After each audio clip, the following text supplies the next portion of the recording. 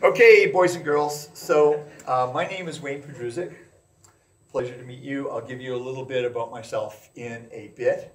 Um, tonight, I'm going to be presenting, I've entitled it, From uh, Education is Indoctrination, sort of tiptoeing through from uh, essentially Socrates till now, how we got here. And then I'm going to give what I see as a recipe for academics to get us back. Okay?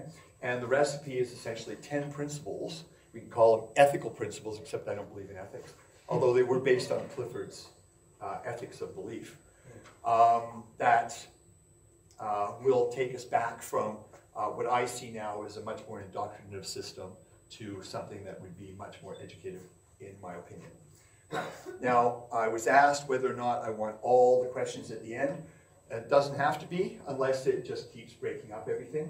So if somebody wants to stop me at any point and say, excuse me, that makes no sense, I'm totally good with that. Um, and at the end, uh, I don't know how much, how long this will take. 45 minutes to an hour, I suspect. And then after that,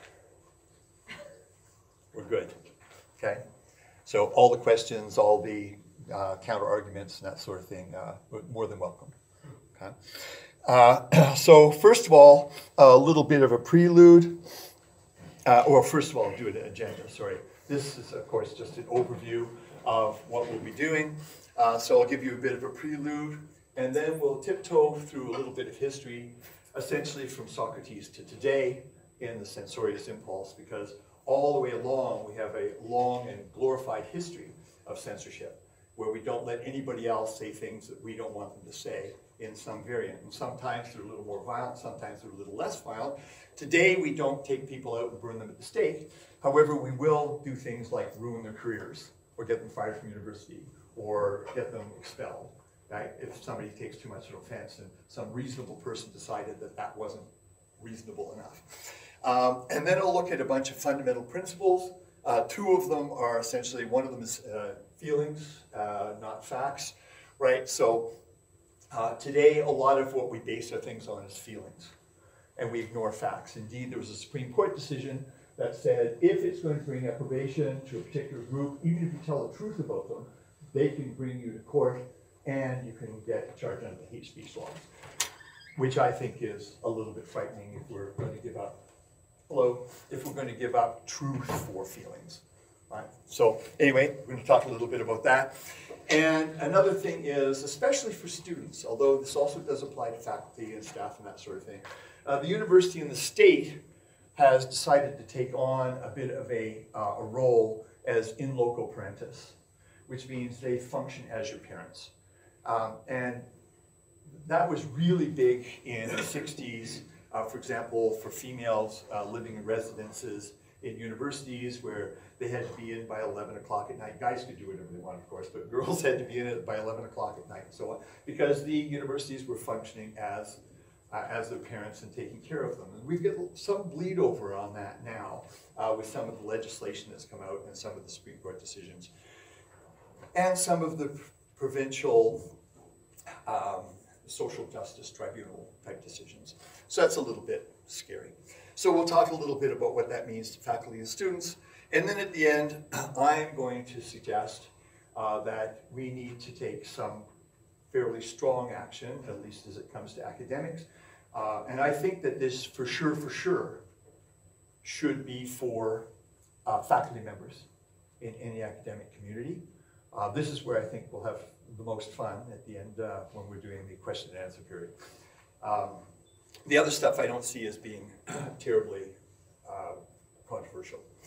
Um, and I actually believe that ultimately this is important to save democracy. And I know that's making a large claim, uh, but I do think so. When you look at uh, some of the election results and things like that that have occurred in various parts of the world, it doesn't seem as though uh, people who are meant to be educated uh, think all that well.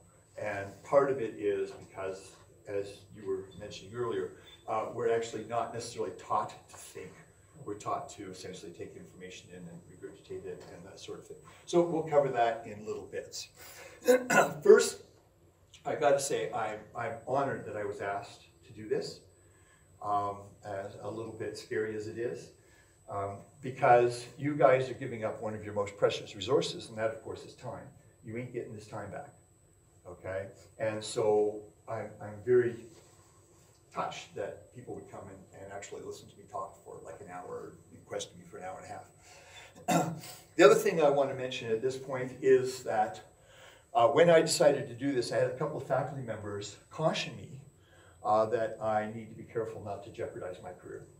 And that, I think, is a telling uh, statement.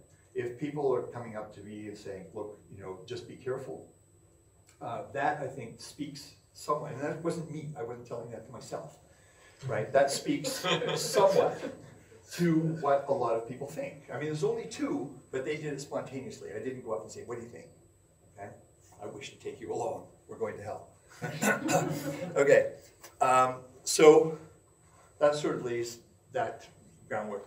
Um, and I was asked by a couple of folks, Amanda and Amanda, uh, if I would do this, and I said yes. And when we get to the end and I go through the principles, you'll know why, because I believe it is actually a, an obligation of faculty members who espouse any particular point of view or belief to have to uh, present them and defend them in public. Okay? Because otherwise you just do it in classrooms, you do it in hallways and things like that. And I personally have problems with that. Just saying. Okay. So, this is a quote, one of my favorite ones by Thomas Paine. And this is if you are trained in any way not to be truthful, this essentially leaves the groundwork for all other moral corruption. Huh? And, I, and this was uh, uh, from his book, The Age of Reason. And uh, has anybody here read that? Out of curiosity? No. Okay, I, I highly recommend it, of course. so they are beginning with perjury. Can we conceive of anything more destructive to morality than this? And I can't. And although I don't believe in, which we just talked about, I don't believe in morality, I don't believe in ethics, most people do. And we operate as though there were an ethic, and I believe that we should operate as though there were an ethic. I don't think there really is one. Okay. The second thing is, given that we are in a position where we have to be deceitful, because of course there are consequences for not being deceitful often, um, we, if we want to perform a revolutionary act, telling the truth really is a revolutionary act under these kinds of circumstances. Telling your opinion as it actually is. Now, can we tell our opinion as it actually is? I'll let you guys think. If you uh, were in a position where you're going to sort of interface with somebody uh, in a classroom or in somewhere where you'd be observed or videoed, you know, what kinds of things would you or would you not say? That's what you have to ask yourself, and why and why not. Okay, so a little history about the censorious attitude. And I'm just going to punch through a number of these. I'm sure most of you know most of them. But certainly, uh, Socrates 399, he was executed for questioning the existence of the gods. And I put Zeus and the boys and girls here, uh, because I'm not going to name all of them. There were a few. Um, and then ultimately he got to drink uh, uh, hemlock for corrupting the youth of Athens. Then we'll go to Hypatia, 415. Uh, I'm jumping large numbers of people, of course. How many people know who Hypatia is? Okay, so Hypatia is one of my heroes, actually. So uh, she was a pagan mathematician, philosopher, astronomer, uh, and she was accosted by a group of monks, and she refused to acknowledge the existence of the Christian God and his all-powerfulness and all this kind of stuff. So they dragged her through the streets, uh, they flayed her alive, and they finally burnt her. Okay? Uh, and don't forget, we talked about we're living in a, a, we work and exist in a university. And we think about the university people as some of the most educated people on the planet, right? Most of us have PhDs or whatever it is we have, right? And yet, these at that time were the most educated people of the day. Right? So if you have a belief, like any kind of fervor that you're willing to follow, this seems to be able to follow as well.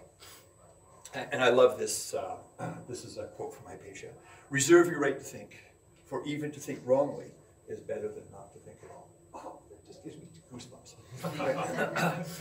okay, a little more. Maximus the Confessor had a little dispute with the church.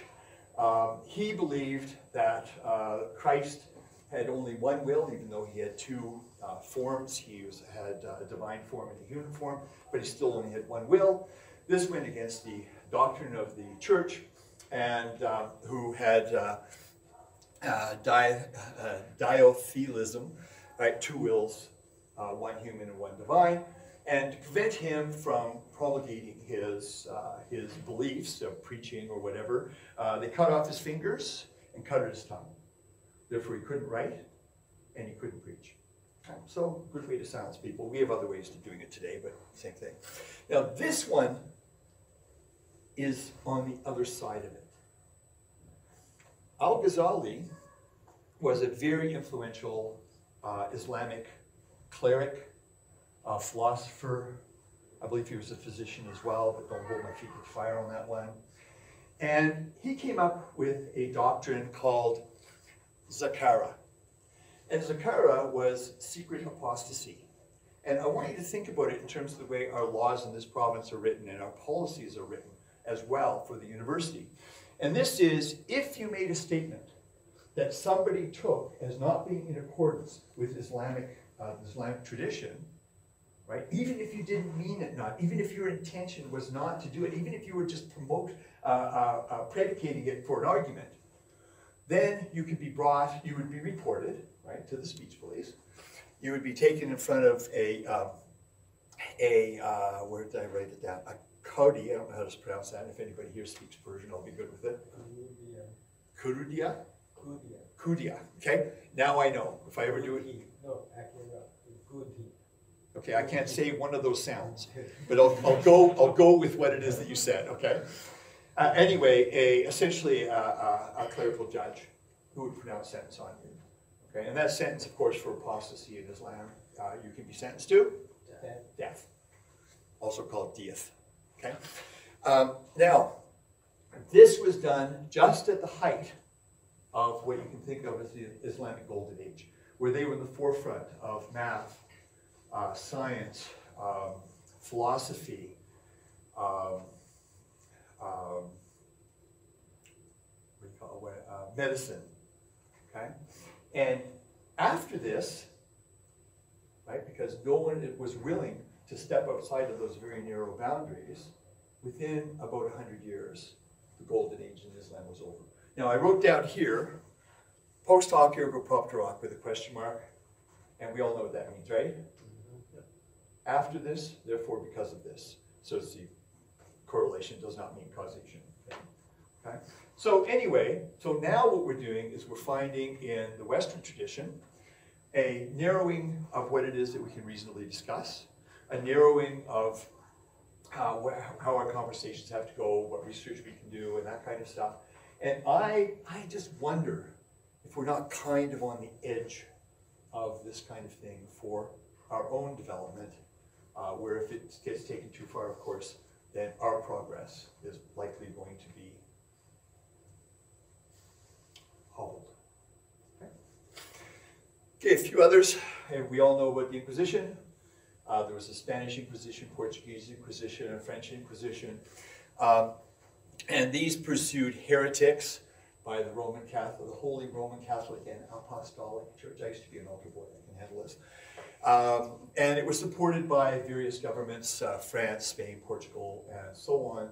And indeed, as I was just uh, talking, they had a Grand Inquisitor uh, that was established uh, in the Vatican, and essentially uh, the Dominicans uh, worked for him, and they were the ones that would interview people who were accused of heresy or being a witch or whatever else it was, and they deconstruct their arguments. And uh, there were two books, of course, the Malleus Maleficarum. How many people have heard of that one? And Invectives Against the Waldensians. How many people have heard of that one? No, those were two of the main texts that they used in the interrogation and deciding how we could tell if something was a witch or not, and so on. Anyway, um, uh, that position was just discontinued in the late 1800s. So the Grand Inquisitor went the whole way, and of course, the most of the inquisitions were done by the um, uh, done by the Dominicans, the black-robed ones. Then we all know about Galileo, uh, took a heliocentric view as opposed to a, a geocentric view of the universe, more Copernican view, and uh, ended up uh, declared heretic, ended up under house arrest for the rest of his life. Uh, MacArthur trials, we all know about the MacArthur trials.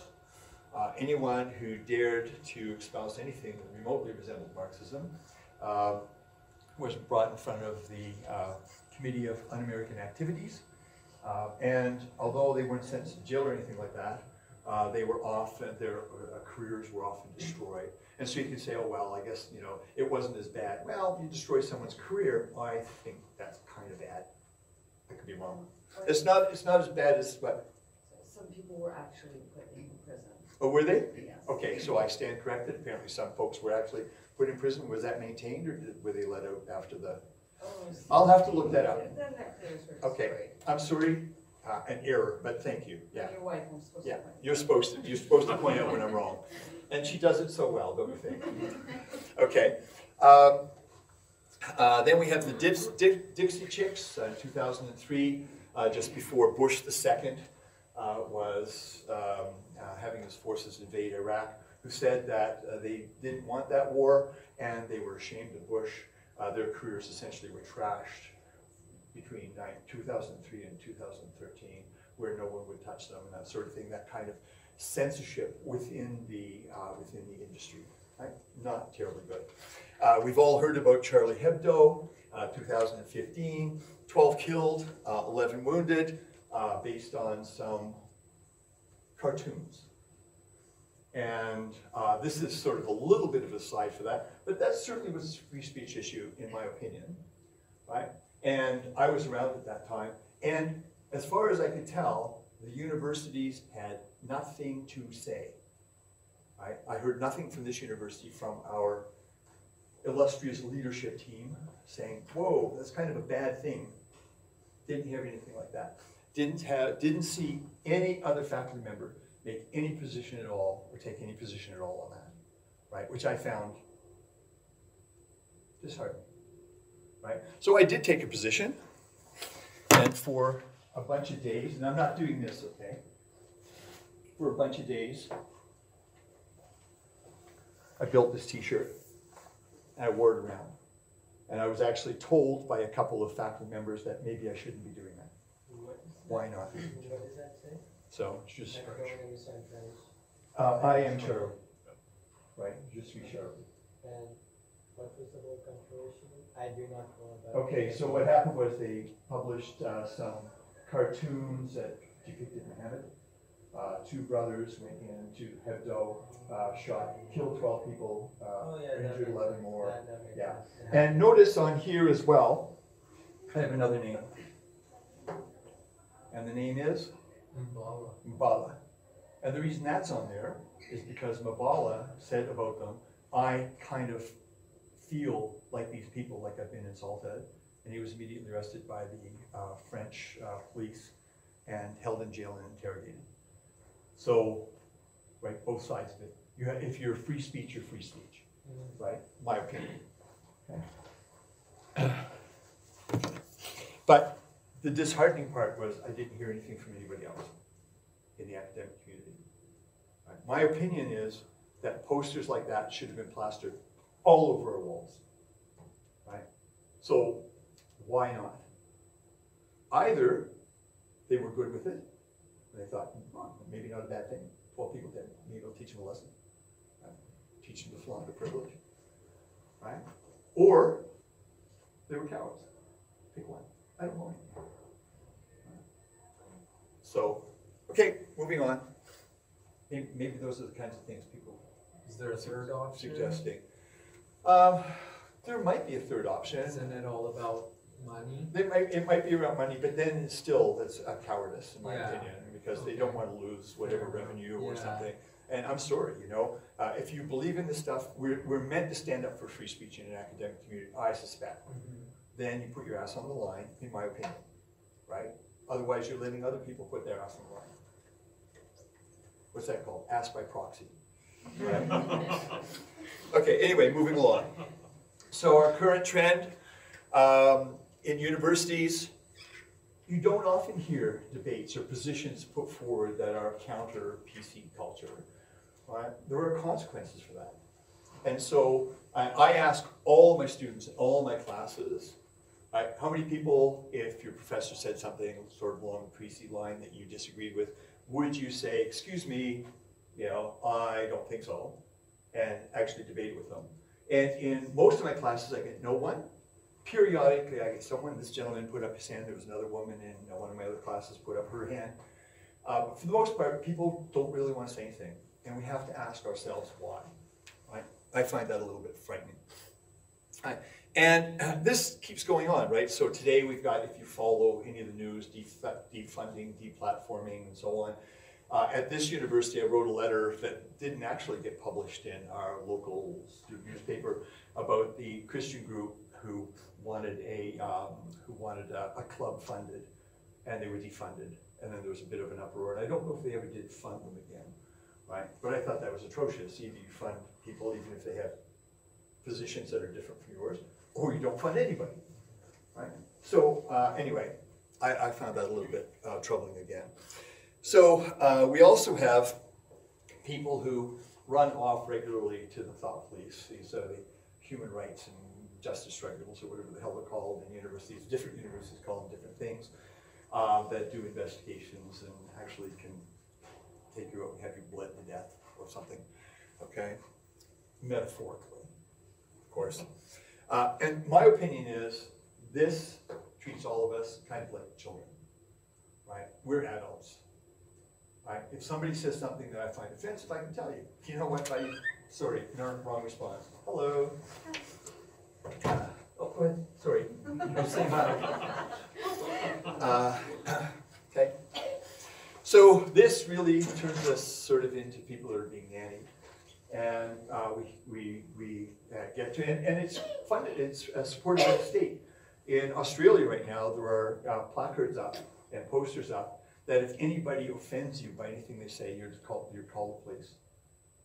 How frightening that, right? This is kind of like the Stasi in Eastern uh, Germany, where three out of five people would report you to the police if you said anything that they didn't like or was anti-communist or anything like that. Same shit. Okay. How far are you willing to take that, Wayne? How Um, far am I willing to take what? this position here about, If there's an act, then the power differentials make a huge difference. Yep. So somebody could be feeling they've, they've been, um, insulted or disregarded. Mhm. If there's a power differential there, the only way they can fight it is through human rights or some other state-like yeah, except that, oh, go ahead. I'll, I'll come back. And Yes. it kind of builds on your thing, because it's kind of like an example of yours. So, this happened to me. I was on the three to one, and there was this guy who kept on. I don't know what a three to one Oh, it's a bus. Oh, it's a bus, It's- sorry, It's a okay. bus going to White Rock Okay, from here, okay, I take it every day. Okay. So there was this guy over there who kept on yelling um, homophobic slurs towards me. Wished he had a stone so he could stone me. Like it got to the point that I rushed on it. Like I just left the bus. Mhm. Now with that, now if there was a police like like I did report that to the police. But would you say that free speech would? eh, Okay, you know what, we Because I'm get, we free get along speech. really good, because if somebody's directly threatening you, that actually is assault. It wasn't a direct threat. Well, I but wish it I was had like- stones so I could kill you, that like, sounds he pretty didn't threatening say to me. throw it at you. Kill you, it. but, but he was like going towards the community and, and like looking at me while attacking the community. Mhm. So I felt pretty threatened. Yes. So does that tie into free speech and you should be allowed free speech? Well, you see, there are, there are two levels to this, and I'm coming back to that. There are two levels to this. One is sort of what happens within the academic community, and I assume here that we're not talking about physical threats and physical No, violence. no, Here, we're just talking about, um, uh, we're talking about a, a person's right to say things, okay? Now, toward what you said, if there are actions that are taken on the basis of that, i.e., I say, uh, we shouldn't hire any women, and it turns out that we're not hiring any women, that is something I think that should be taken somewhere. But the fact that I said, I'm really not sure that we should be hiring women, I'm not sure that should necessarily be taken anywhere, right? Because now we get into finer and finer graduations, what is it that you're gonna find, uh, what is it you're gonna find offensive, what is it you're gonna find threatening, and things like that. And I'm gonna come to a Supreme Court decision shortly, where we're gonna talk about exactly that, sir. Okay, now said that you actually, that you say that I believe we should not hire any women. And then. I don't mean- actually mean, believe but- that, but- right? but- and we'll get to that yeah, later. Yeah, but I'm like taking your example, Fine, like yeah. saying, I don't believe you should hire women. Yeah. And then you are banned from being on the hiring committee. Because you verbally said, I do not want to hire this one whole, like, part of the community.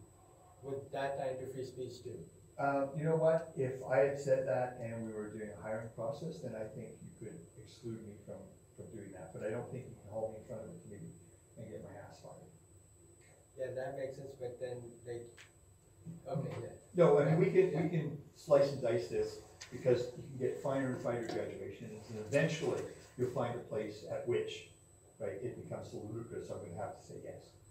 But as a general principle, I think I am, and I'm not going for, s- free- I'm not gonna present an absolutist free speech position in this talk, that's not what this was aimed at. This is meant to, uh, address, uh, academics and uh, discussions within academia. Does that make sense? Are you good?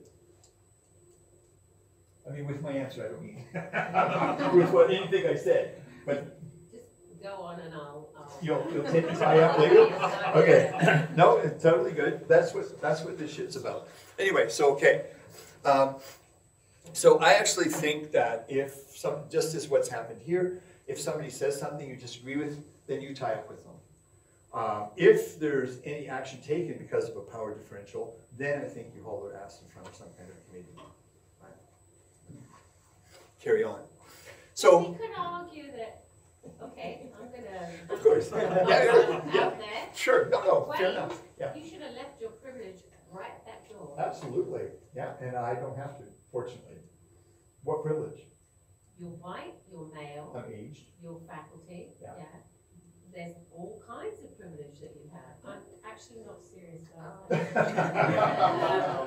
But that could be, that could be a response to this. Yeah, but I've got no problem with that, you're allowed to say it. It's all very well for someone in your position to have these broad and uh, accepting stances on issues, but when you get someone who's in a minority position, a woman, someone of color, or any other minority, um, you've got something very different going on in the dynamic. You may, but. just because you're a speech- minority speech is doesn't mean you don't have power. Yeah, same, Yeah. because from minority groups, I find the biggest problem is that other people try to speak for us.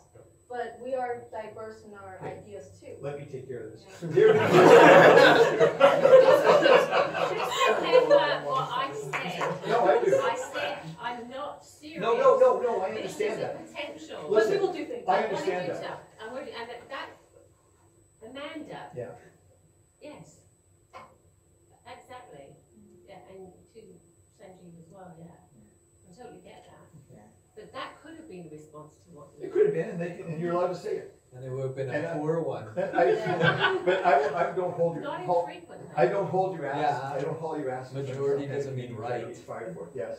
I was just gonna say that in this situation, you really don't have the power. It- It's the one with the hurt feelings that's gonna have the power. If you have colleagues telling you that you may be endangering your career by bringing this subject up as a topic of discussion, there's a problem. Well, there's a heckler's veto, and then there's a hurt feelings veto, and there are a whole bunch of those things. And that's part of what we're talking about. So first Bert, and then, yes. I was just gonna offer to help with the projector because it seems to have turned off. He does that. I know that. Please.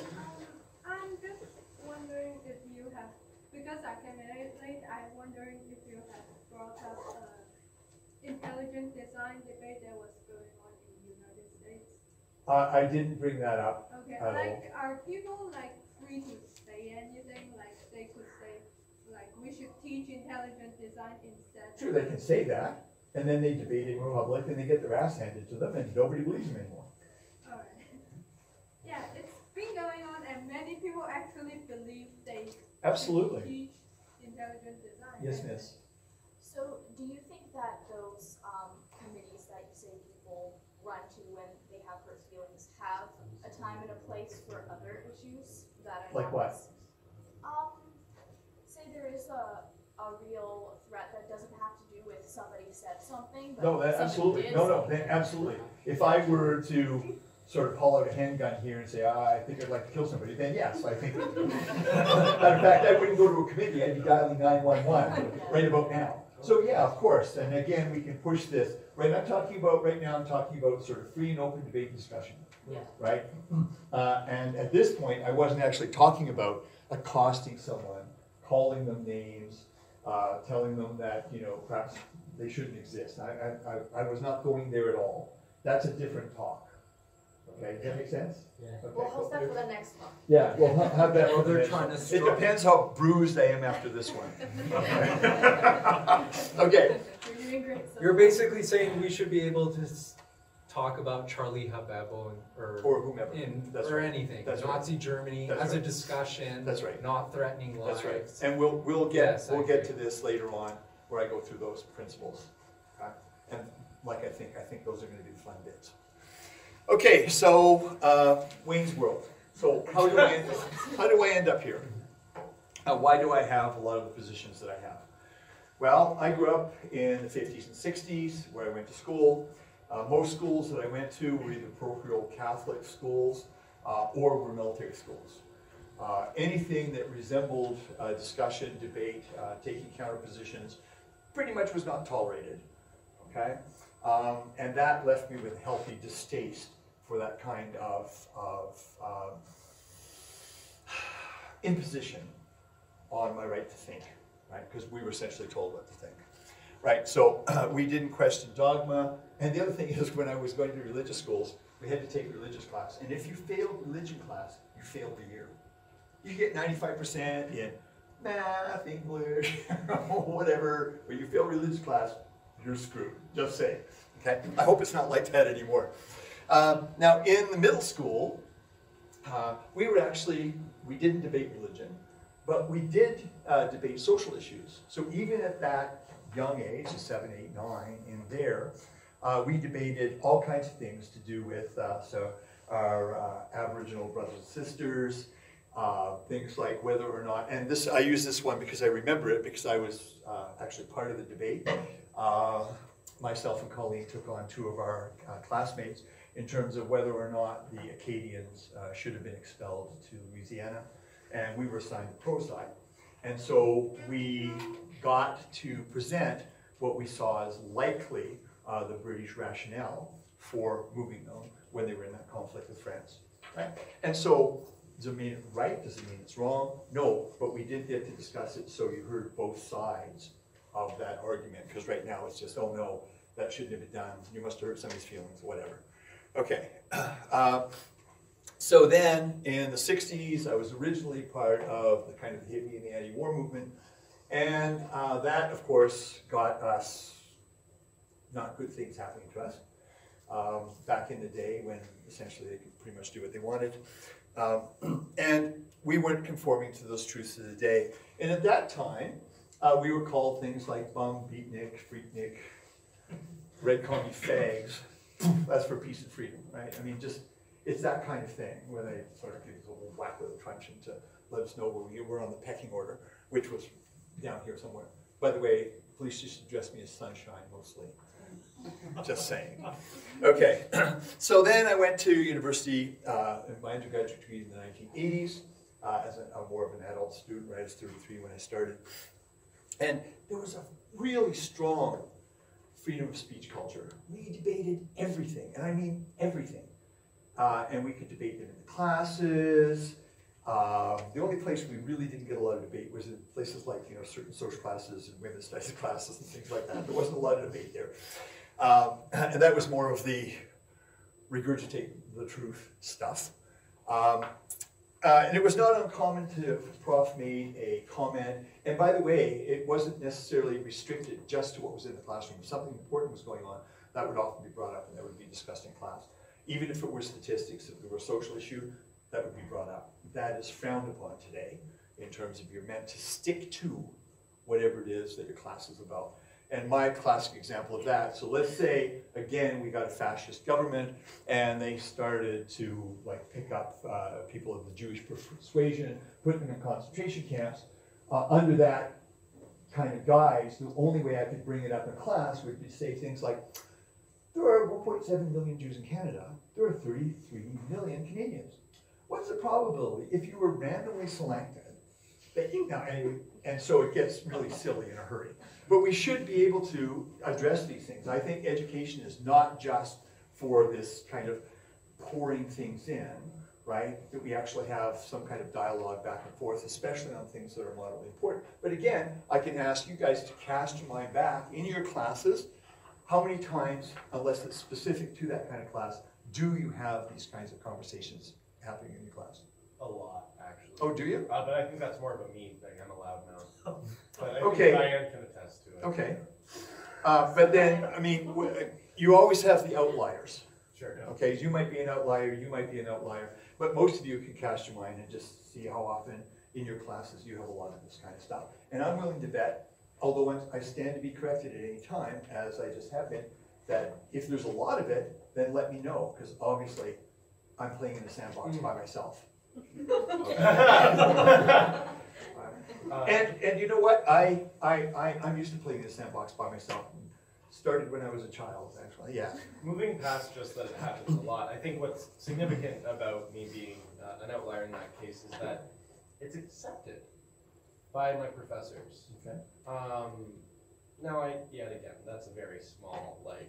Uh, overall And exposure. and I'll come to being that, and see if I'm wrong, universities. yes?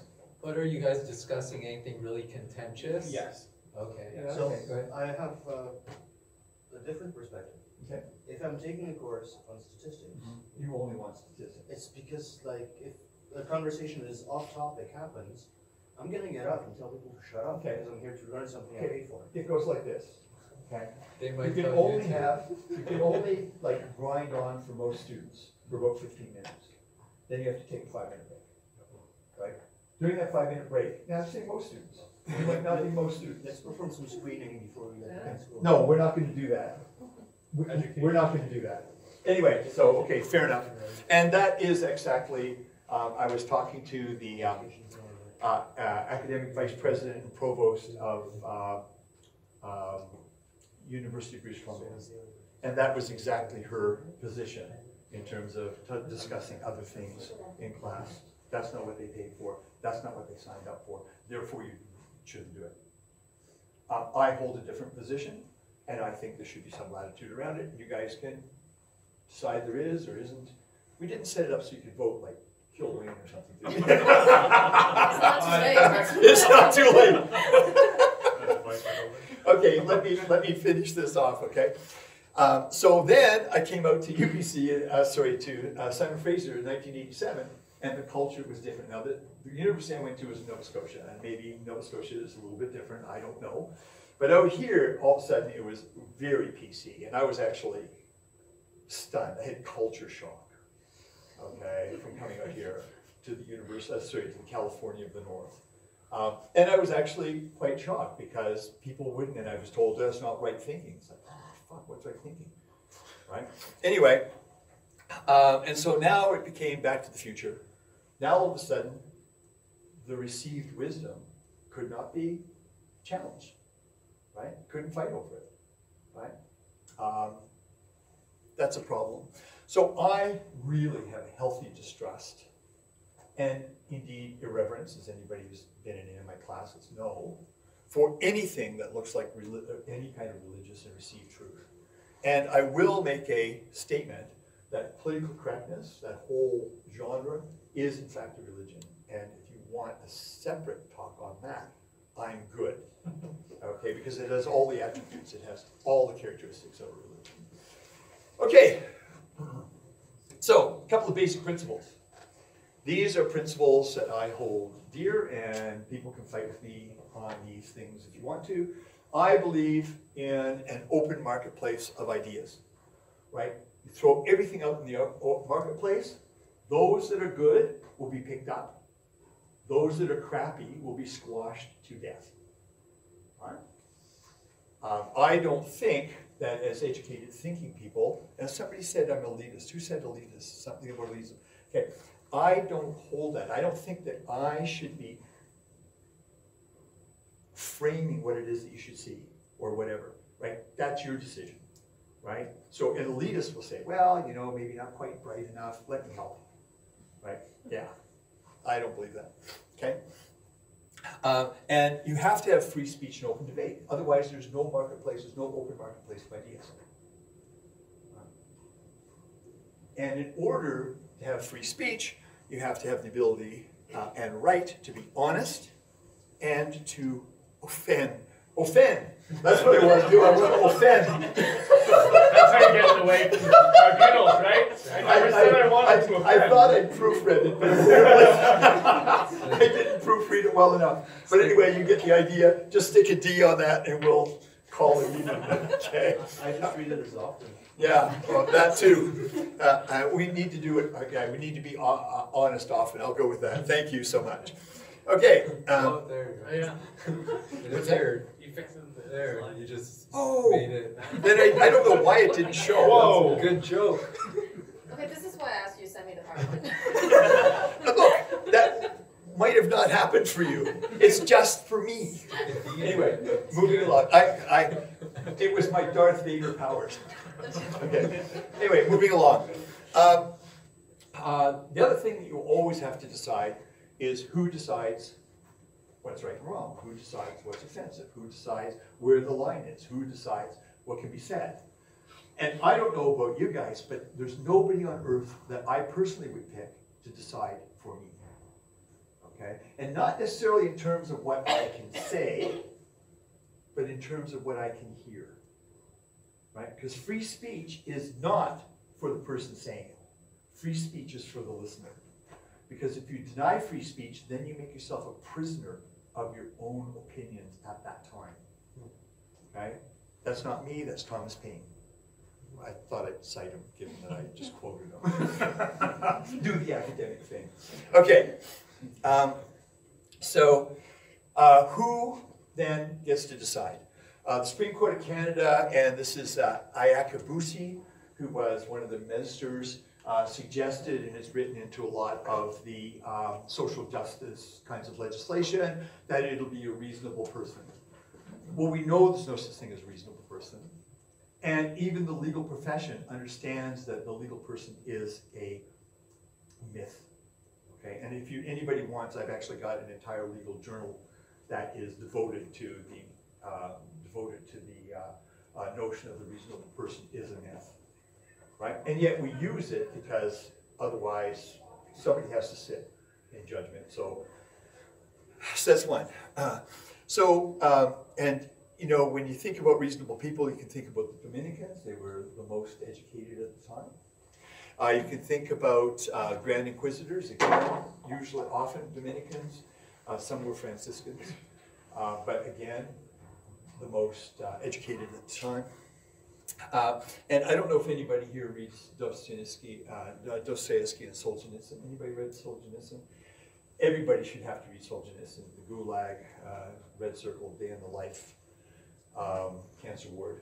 Okay, you should read these things, particularly the Gulag, right? Because this speaks to a lot of kind of who decides, right? And what what kinds of punishments or whatever will it mete out? Not a good thing. Uh, so courts are prejudiced de jure in black robes. And I'll just point out that in 1967, the Supreme Court of Canada uh, decided that it was perfectly legal and okay to sentence a gay man to life in prison. Okay, that was overturned, I believe, in 1972 by Trudeau the first. Well, now we have Trudeau the second. um, when he made the uh, when he made uh, uh, when he decriminalized uh, homosexual acts. Okay, so um, so certainly not them, and I'll actually talk about the Whatcott case in the not too distant future. How many people know the Whatcott case? Nobody. Okay, that's scary. Okay, let's move on. So. Um, Enlighten us We all do. I will, Yeah. I will, I'll get there, I'll get there very shortly, okay? So, um, ultimately, this is what I said to all of you, you have to make up your own minds. You are the only crucible of right and wrong, right? You can't let other people do it for you. You cannot abrogate that responsibility, and it is a responsibility. But that means you have to stand up for it as well, in my opinion. Okay?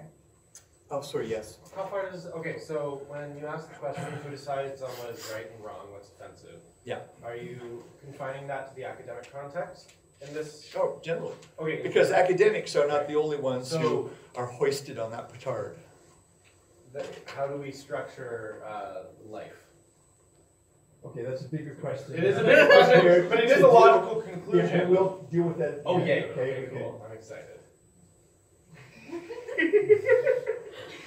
We can play. Oh, Okay. Um, But in order to make up your own minds, you need that interaction. You need the free and open debate. You need the, the information. And the best way to get information is by debating somebody on the other side. Okay? Especially if they're passionate and you're passionate, that is good. And with any luck, both of you will come away learning something. Doesn't mean your mind will change, right? But you'll learn something, right? Especially in the academic community, that's, I think, what we're meant to do here. I could be wrong.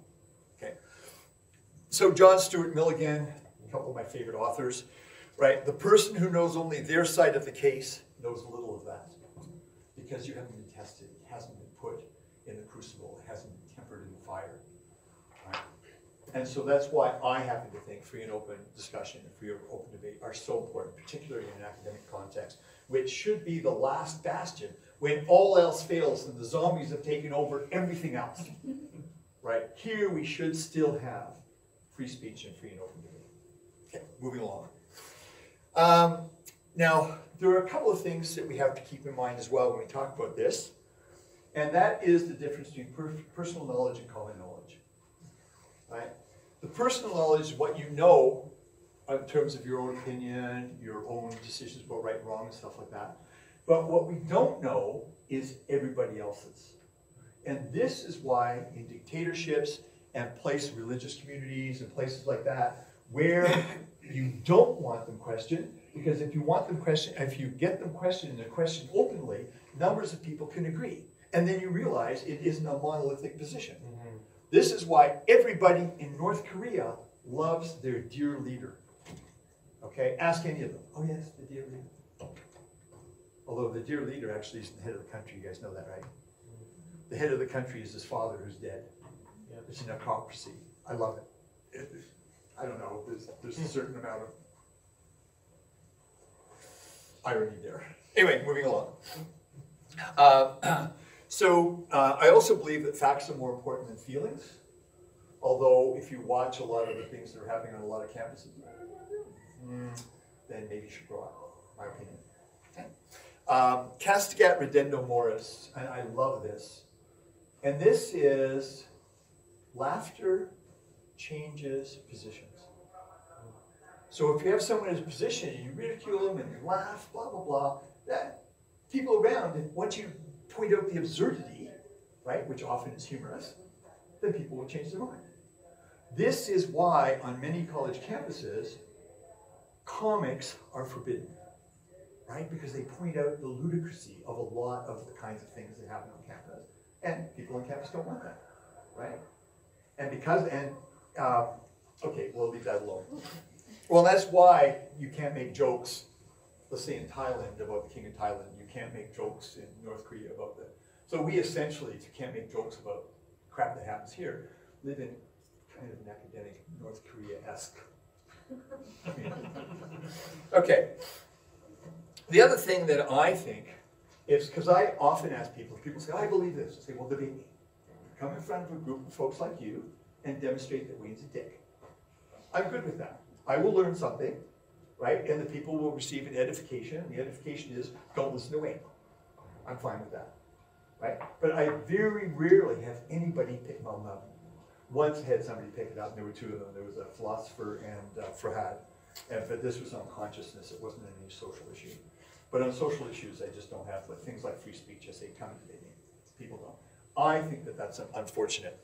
Because every time someone says no, they won't debate, that lets me believe that their position is probably so weak that it cannot withstand the argument. Right? So when, when you're not getting anybody nibbling at these kinds of things, we'll get to that a bit later in my principles. How long have I gone? Oh, good God, I'm, blah, blah, blah. oh no, I started at four thirty, right? Not even an hour. Hey, I got lots of time. Okay, so universities today, these are my opinions, uh, and maybe some people will disagree with me, and I'm good with that. I think for the most part, people are taught uh, what to think, not necessarily how to think.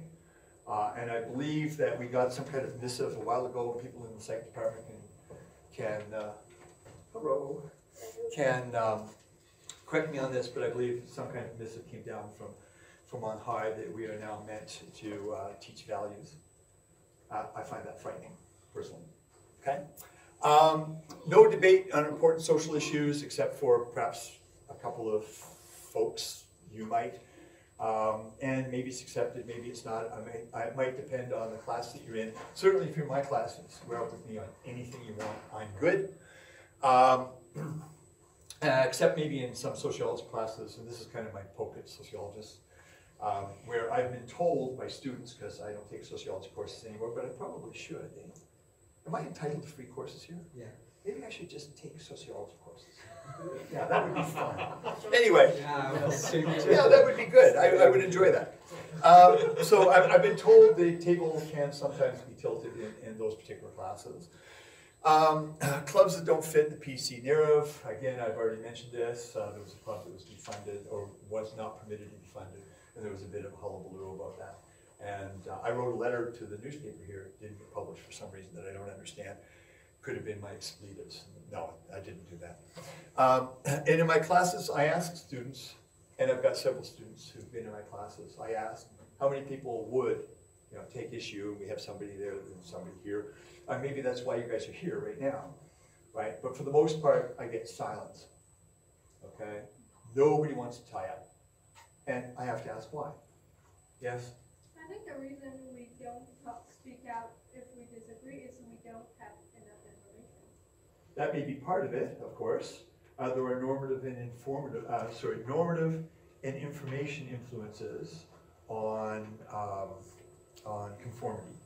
Yeah, we know that, and so if there's not enough information, but even so, you can ask for information, you say, that doesn't strike me as being right, why do you hold that position? Well, I, I think that's a poor excuse. You have infinite information, your cell phone at the. But you don't have infinite time right then.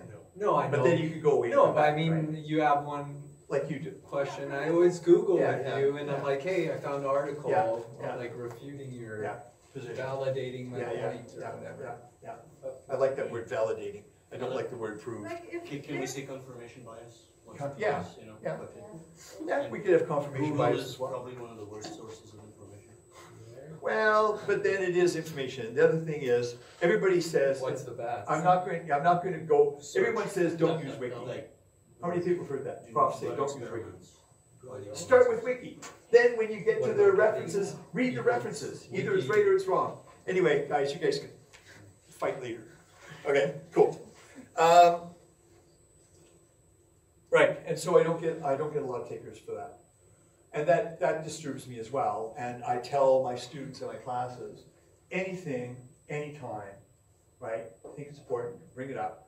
And, and especially during those little breaks, because I always take, like, I do fifteen minutes, then I take a few minutes break, fifteen minutes, because the literature tells us that that's about the edge of people's high attention. Maybe the reason no one speaks up is it's easy to go conform. Yeah, and that could be possible, uh, well, but then that speaks to our education That's system. what he's saying. Okay, that speaks to our Point education system. proven. So, yeah, quad is demonstratum. Yes, Me? isn't, isn't that your hand? I wasn't sure if she had her hand up. No, you do. Okay, so if I may, um, if I didn't agree with, um, a popular opinion that a professor had, Yeah. I, especially when I was younger, a bit more so now, I might be more comfortable since I'm older, but I would feel, um, like I couldn't speak out or I wouldn't, just Yeah. because the, pro- I would have the fear, not saying that this would happen, but that the professor would use their platform to, um, sort of laugh it off or, um, inadvertently humiliate me by getting everybody else to agree. And sometimes it, laugh that's not opinion. necessarily inadvertently, I mean, I can do it. Yes, I mean, um, like, we, we do have information, we have access to cell phone internet, but then if the information information that actually works, then why do we have to study for the PhDs? I mean, we, Yeah, no, that's, that's a higher order thought thing as opposed to information. yeah, so we don't So- understand that as Yeah, well. uh, so just let me wave my hands, and this speaks to the internet problem. Um, I think it's on my door here, uh, certainly on my door at UFV. Uh, I was driving down the road one day and I was listening to a futurist, uh, being interviewed, I think by one of the barbers on CBC. And, uh, he was in education, and she sort of laughed and said, all, you know, she sort of said, well, all the information is on, on, uh, on, uh, the internet. What do you say about that? And he said, the problem with knowledge, is she said, all knowledge is on the internet. And he said, the problem with knowledge is you have to know what it means. And I think that is the purpose of, of, uh, of uh, education in university, right? Is to figure out what it means, not to have, uh, although you have to have some factoids, okay? I mean, well, I'm just a higher person. You know, can't, can't be, I, I like at the abstract level, fine. But you need something to like muck about with at the abstract level. Anyway, this is getting a little bit off, but uh, whatever. Okay, Uh, so why not? So let's, and when I, I ask, I say, why not? And what that young woman down there just sort of mentioned, fear, fear of censure by the prof, fear of censure by fellow students, uh, being labeled sexist, rex, racist, homophobic, Islamophobic, xenophobic, pick your nosophobic, whatever it happens to be, don't okay? forget- Don't forget internalized misogyny. Oh yeah, internalized misogyny, and I know that like works for me, The same. Um, and whatever other negative label might be hurled, uh, because that's not a function of debate. That's just a function of you know taking something that sticks to you that smells and hoping it stays, and other people will believe it, right? And we'll come back to that as well. Okay, and so you know what? If somebody's afraid, it doesn't mean. ah, I mean, what is fear? right? And I, I ran into this somewhere and I don't know where it came from, so I can't cite the person. But fear is wisdom in the face of danger. And so sometimes it's very rational to be afraid, right? Especially if you feel powerless or something like that. There are things that can be done to you. This speaks to your power imbalance as well, right? Okay, so are we all delusional? Uh, most of my students delusional, maybe they should be on meds. I don't know. Right? Or is there some kind of rational basis for this? Right? So, and you guys can make up your own mind about that. You know, I will motor on now. So I think that a lot, at least in a lot of uh, social areas, education is more indoctrination than it is education. Well, what we call education is more indoctrination than it is educated. I think it promotes, the way it's done, it promotes cowardliness and not courage because people become used to being afraid and not saying anything. It's too much of a hassle, whatever it is, right? And that's kind of like um, a classical conditioning. And how many people have heard of Mowrer's two-factor theory? And of course, most of you should have. So you're classically conditioned about something, and then every time you avoid it, that gets reinforced. Okay? So something like that, perhaps. I'm not saying necessarily, I'm not diagnosing anybody here. I'm not a clinician. Okay? Uh, encourage deception and not truthfulness. Because if you're asked your opinion, do you actually give your opinion or do you lie?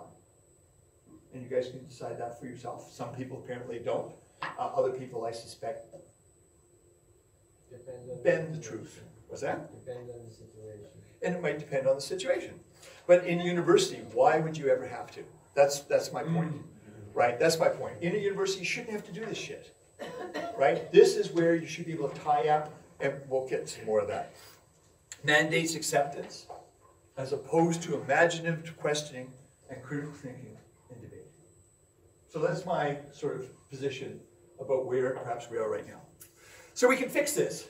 Woo! Right? And so uh, I got an ethics for academics, uh, although I don't believe in ethics. Yeah, you just said. No, I know, but uh, if most people do, so why not propose it and see who bites? okay. Actually, I've got some pretty good arguments against ethical positions, but we can do that another time. Against the existence of them? Against uh, against the existence of ethics, totally, absolutely. Yeah. All right, moving along. Can I You probably wouldn't see that if we all got around you and started pummeling you.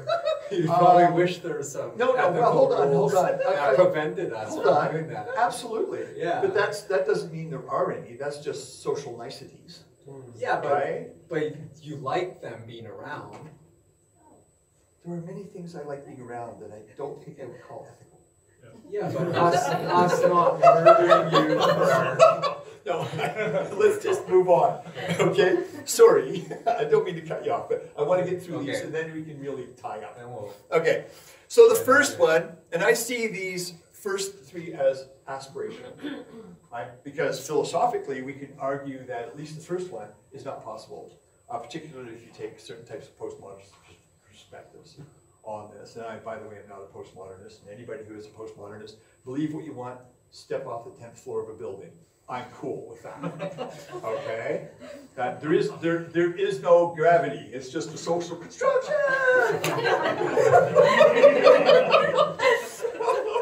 and deconstructing that, it's not the fall that kills you, it's the stop at the end. Anyway, never mind.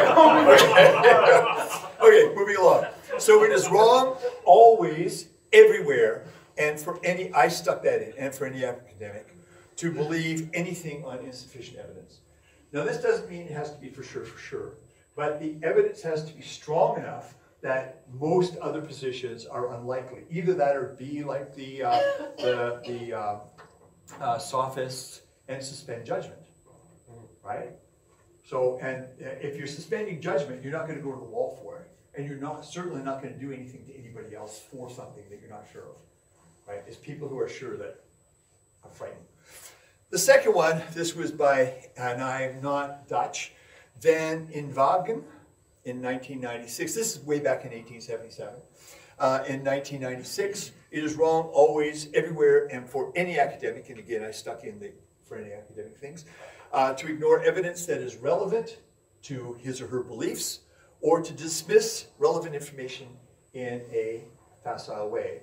And this sort of speaks to your bias thing right? My side bias, you tend to say, you know. And Nietzsche actually had a good thing. We tend to value those things we, or, or subject those things with which we agree to less scrutiny than those things we disagree with. And that, of course, is exactly the opposite, as he pointed out, as it should be.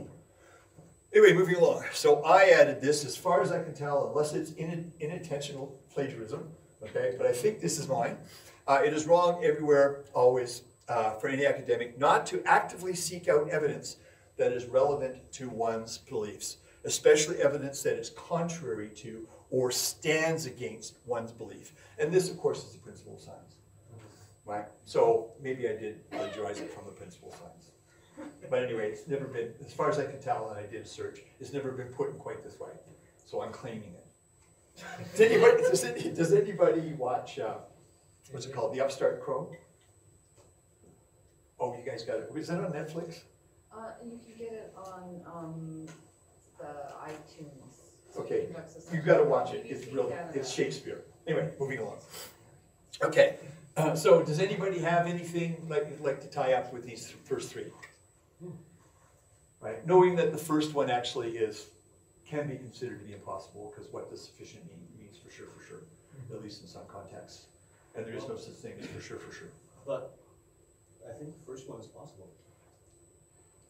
Um, I think it is as long as long as it's a balance. It just can't be for sure. Belief is a placeholder for knowledge, but if we're gonna say, a lot of people believe things and they claim, I know this, they can't tell the difference between belief and knowledge. No, that's right. So if we remove the word belief from this, and to, to, to believe that they know something on insufficient evidence, then it works. The The to problem with believe that they know something, so you're adding another. the, the problem is the belief we're talking about is not, I believe, uh, that Yeah, but strawberries are superior to bananas. It's, I believe that this is the truth. Yeah. I believe that I know this. Yeah. This is the type of Um, belief that's and, dangerous. and I can The other one agree is with opinion, you, it doesn't matter. I can agree with you, except that things we accept as knowledge and facts today might not be knowledge and facts tomorrow. So if you look at it actually from a deconstructivist position in terms of putting knowledge in a synchronous or diachronic uh, uh, uh, uh, framework, right, then um, one might argue, and I think one could argue reasonably successfully, that that more, more likely to be aspirational than possible. Uh, But uh, I'm a bit less, um, lax with what I believe I know. Yeah, that's than cool. most people, I think. Yeah, I'm, I'm not an absolutist as you are, so. uh, Oh, I'm only an absolutist about some things. Okay. How we get, that's okay, okay. That's, that seems fallacious. No, no, no, no, Okay. no. I I'm an absolutist about, about something. About ethics. Anything else? Um, I'm absolutist about torture. Okay, fair. I don't believe a little torture, you Okay. know, judiciously applied is a good thing. What's that? Won't do anyone any Yeah. harm. It's- Well, i- isn't that kind of what, uh, Stephen Harper was arguing, we'll put this in, say that we can actually torture people, but don't worry, it'll hardly ever be used. Okay, I- I mean, I I have, uh, Okay, Okay. uh, but my actual, my actual, uh, point, I, I also, um, I agree with it because it's a value judgment. what's a value judgment? So, so whether or not it's possible, the principle is still true. Um, Yeah, no, and I don't yeah. disagree with you, which uh, is why it's there. It's also hung up, I'm also hung up on the word insufficient as the main reason for believing that this may be, um, possible. Okay, I mean, you can rephrase that, you have to have sufficient evidence to believe anything. Yeah, But it's the same thing, yeah. but then you have to define efficiency, sufficiency. If you believe something, And there's, I'm going to bet a long regress of arguments that it would have to happen about that. And again, this isn't the forum for that. I, I, right, I think, uh, what, Um, what's touched on by that principle is whether or not causal reality Start exists. being in nothingness, Renee's theorem. Okay, To know you know, you have to know that you know. yes, To know that you know, you have to know that you know yes, know. yes, Okay, which is why if you adopt a causal argument, it would be possible, but, anyway, yeah. Totally different discussion. Absolutely. Okay, but moving along. Are we good with moving along? Yeah. Did I hear a please? Pipe bird.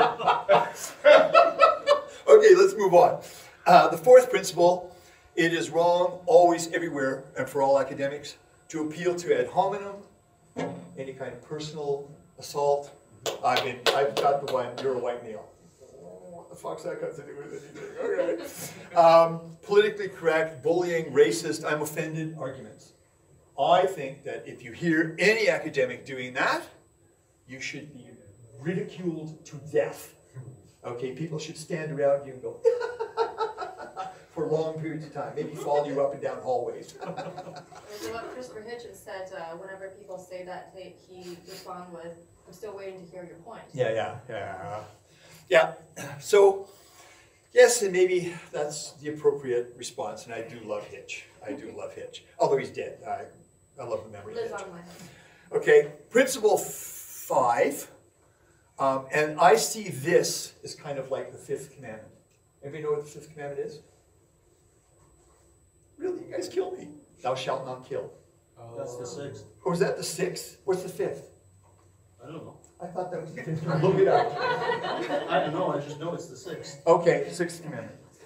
That- That's like the sixth commandment. Just change that to a sixth. Maybe if I do this, it'll change to a sixth. Damn, it didn't work this time. Okay, Seventh about it up, is that the sixth commandment?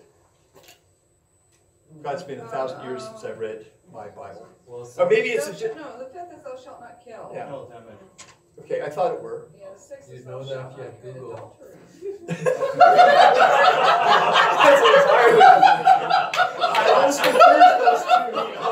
Okay, okay, okay, okay, that was good. Okay, uh, let's get, let's get, I'm serious again. Okay, but that was good. Okay.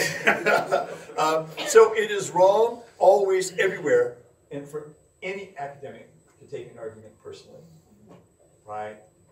And that is the case because it damages relationships, it damages the way the institution works, right? Then you get all this emotional overlay, Damasio notwithstanding, okay? Uh, on our arguments. And we should, I think, try to be at least reasonably rational about these things as opposed to emotional. Anybody want to tie up with me those? I'm not sure that, that you ridicule people, that's bullying, or bullying, as you say out there. Um, Oh, did I misspell that too? Where's that? Bullying, racist, bullying. You're also missing a period. Bullying. Okay, well, you know what? I I think maybe Just send challenge, bullying, challenge the every opportunity might be better. Yeah, maybe we should be challenged in, from my, Why don't we just point from it my, out at from my perspective, that's right. Agree on standards for language. I, I, I'm to, I'm totally good with that. Uh, What I'll do is I'll just say why I obviously uploaded the wrong version of my, uh, the, the one that wasn't proofed. It was in your other pants? It was in the other pants. It was on the other, on the other uh, stick. Okay, Um, and so, okay, maybe not ridiculed, maybe challenged. Um, I personally think ridicule is an important thing. Christopher Hitchens would suggest it is. Uh, Lawrence Krauss suggests that ridicule is an important part of arguing. So um, I will defer to people who've mathematically proven that the universe can arise from absolutely nothing. Sixth principle. It is wrong always, everywhere, and for any academic to not publicly debate, when asked, a position on which she or he holds a public opinion. And that could be a public opinion as stated in the hallways, a public opinion as stated in a classroom. Uh, if a student says, look, you've made this, and I know somebody who disagrees with you, you should debate this in public, I think that there is an obligation that they do it, ethics notwithstanding. Okay? Um, and so uh, this actually, I think, is a corollary of the third principle, uh, but a way of making it public. And this would demonstrate courage. And I think it's important for academics to, to demonstrate courage. Okay? Anyway, so, or to model it, whatever you want to call it. Principle seven, wrong always everywhere for any academic not to publicly support positions that she or he uh, uh, is in favor of, or not to publicly decry positions that he or she is uh, not in favor of. Okay? And of course, this is, if somebody makes a statement and you disagree with it, you should actually say, I'm sorry, I disagree with it. Um, and then you can invite them to have a debate about it, as opposed to just letting things go and letting things go uh, for the sake of, I don't know why we would do that. Okay? Um, okay, Uh, are we good? no, Or did I miss, did I there misspell enough time in my life to apply principle seven. Yeah. No, you know what? Uh, then apply it judiciously. I have shit to do. Then apply it only in cases where it's like particularly important, whatever it is. Now, you have different times in your life. You're younger than I am, so I actually have less time in my life for it. But still, I think one should tie up. Um, okay, And what about, time notwithstanding. and what about what principle seven? Uh, what happens if the public debate is, let's say, in a either stacked position or has. You can still, you can still speak for it or against it. Okay? So, let's say your opponent, and uh, this is a wild example, that you should not hire women. Yeah. Uh, yet the jeopard, yet debating uh, for not hiring women jeopardizes your career, should you do it? Well, you see, and that's another problem, because in an academic facility, it shouldn't jeopardize your damn career. Yeah. Okay, the fact that it does, I think, speaks poorly of any academic career, community in which it would just jeopardize your career. So is this a absolute uh, ethical principle, or do you have to? I don't believe in ethics, but this is the best I can do. Yeah, or Yeah. do you have guidelines? Yeah. Uh, or Principle. make a judgment call? Well, of course, you make a judgment call. I mean, you can't tilt at every windmill, right? Yeah. But pick the biggest windmills to tilt at. I'm really caught up on, on you not believing in ethics. this whole lecture is leading to you giving ten ethical principles. Do you hold these principles to be true? I follow these principles. So you Um, follow some ethical principles. I follow principles that can be regarded as ethical. You If- call them Hold on, if, yeah. I- And you've decried this publicly, so it's a stance you believe. Um, Hold it, that's, uh, no, that's, that's a the little sophist. Okay, fine. Don't attack his logic, that's not common. No, no, that's not an I'm not attacking. Attack my logic It offends anytime you want. Oh! I'm I'm good with that. Okay, Okay, but afterwards, um, if you want to tie up about exactly that, we can. do okay, yeah, I'm Yes, writing it sir. down. Yeah, it's also maybe question on ethics.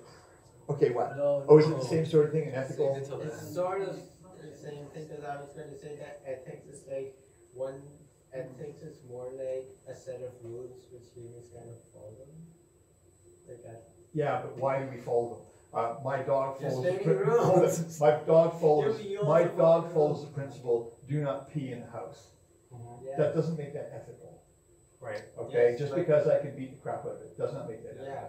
like And that. so if you want to argue ethics, you either have to derive ought from is, Mhm. and I think Santana in the late sixties pretty much put pay to that in his, in his publication. Or you have to have some other, um, uh, absolute principle from which it can be derived. So pick a god, Alright, or permitted use, you know, Ethics fly and rules. Zeus. What? but ethics and rules, Yeah, so there are lots of rules, yeah. right? And that So doesn't make them the all whole- ethical. No, and eth- ethics and rules are not isomorphic, right? Ethics are a particular type of rule. Okay, can you then describe ethics?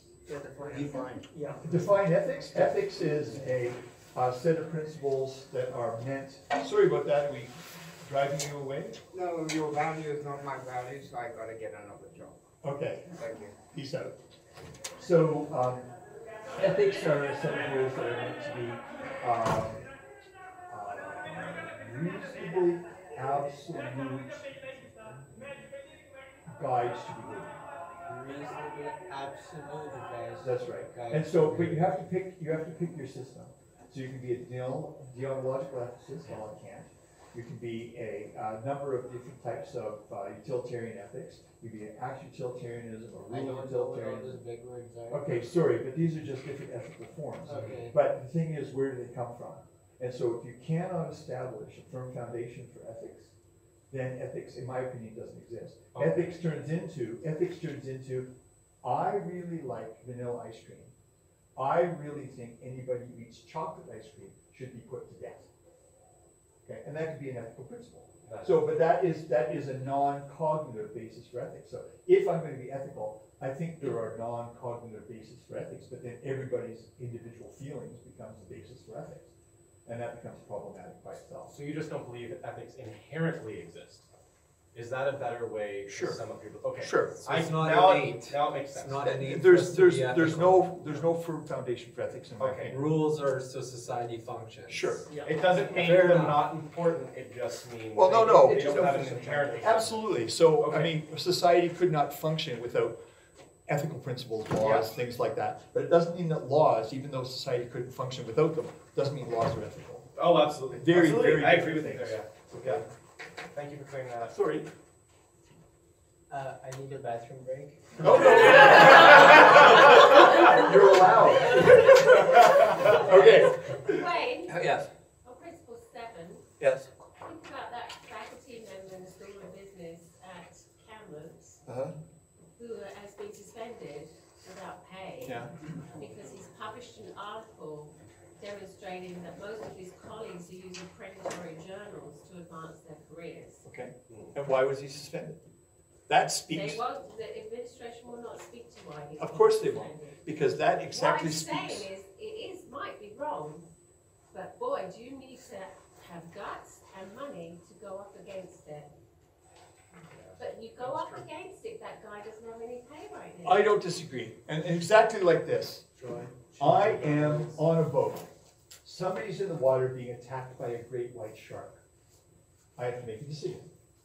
Do I attack the shark? Or do I not? Right? And that's what you're saying here. So because there are consequences, right, doesn't mean the principle is incorrect. Uh, It just means you have, reality in which you have to pick, you have to pick your balance. Absolutely, there's always a reality in which these things, in which these things operate. Sir, If the choice is between attacking the shark and having a five percent chance of living, or swimming away and having a ninety-five percent chance of living, how do you reconcile that? that, that's a decision you have to make. Okay. So this is where you get the idea that we need to be very courageous and very, Absolutely, and that's why I point out courage. yeah. Uh, and the thing is, in that university, where was it? It's, it's, it's the one in Kamloops, whatever. Is that Thompson Yeah. Rivers? Thompson Rivers? If that happens at Thompson Rivers, then the other faculty members should show courage and should get the fuck out of No, there. of the other faculty members are using the predatory journals too, because he published it, he documented it. Um, Then all the other ones, the ones who are using the predatory journals might want to stay, and every other faculty member on that campus should be gone. Home. What? You know what, there's not, I, I mean, I don't want to, the, the, this, these are principles, people have to decide what to do, right? In, in, in terms of their own, Self-censorship. yeah, and decisions. Mm-hmm. So what do you do? I, I cannot hold, I cannot, speaking to your point, if someone were being attacked by a couple of pit bulls, and somebody saw that and ran away, do I then um, uh, castigate the person for running away? No, that's a decision that that person has to make under those circumstances, right? So you have to decide for yourself. And I'm not saying that these are absolutes, that you have to do it. If you don't do it, you're like a horrible person. But these are aspirational. I, I would hope that people would do these things. I think that you have to analyze why this has happened and how we got here in terms of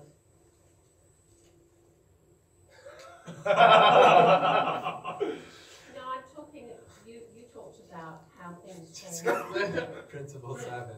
From the number, from, um, nineteen eighty, so I'd say it started in the nineteen seventies. That there was that shift to neoliberalism, which is being expressed in all facets of our lives now. Hold on, what do you mean by neoliberalism? I mean, the movement of money from Okay, us yeah, yeah. to Yeah, them. yeah, yeah, okay. And that is Because sometimes you- you- systematically people use neoliberalism and undermining the neoconservatism power of differently. expression. We saw it, we saw it today when the postal workers are, they're trying to legislate the right to Absolutely, work. absolutely. Um, we see it all the time, we see it in the universities. Yep. What I think, I, although it's a wonderful notion that we always say what we think is right, I think it's more reasonable to try to analyze why it's happened and how you stop it, how you, how you take it back to where it was, where Okay. I don't disagree. You know what? Without risking people's lives. Taking your point, I will try to work, rework that. That's like a To suggest- whistleblower protection kind of thing. Yeah, well, yeah, or I, I will try to rework that in terms of not necessarily public supporting and public not, but going, and I'll have to think about how to do that in terms of working against that, that trend, whatever it has to be. But here we're dealing with levels of analysis, right? And so, at least on, uh, at some level here, right, uh, we should be able to publicly support things that we, uh, I, agree with. I agree we should be, Yeah, we but should the be able to- reality's not there. No, and I, I don't disagree with that, and that's what I'm saying, the reality for a lot of these things aren't here, right? Sir, You just said we should be able to, I agree. Yeah. I disagree with, it's wrong if we don't. It's a matter of choice whether we do or not. We should be able to if we choose to. uh, You have to determine what hill you're gonna die on. You can't die on every hill. that's right. Okay, but by that matter, so I agree with you in wholeheartedly, that you can't simultaneously advocate free speech, but then say it is wrong if you don't say this, how, like, I'm not, I agree with all of your principles thus far, but to what extent is this indoctrin- indoctrination?